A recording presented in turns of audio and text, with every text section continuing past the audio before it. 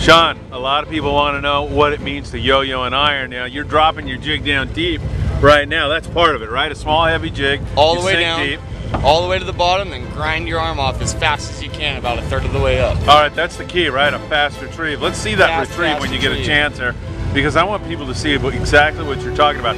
And you never hook a yo-yo iron fish by rearing back on the rod. You just keep turning the handle. Just keep grinding. As soon as you get bit, you just grind all the way through it until you can't grind anymore. All right, let's see what you're talking about. All right, you're talking about really burning it, huh? As fast as you can. No stopping. And same thing, when you get bit, just wind keep hard. grinding. All right, very good. Now we know how to yo-yo the iron. Thank That's how you, you Shawn. do it. No problem. Anytime.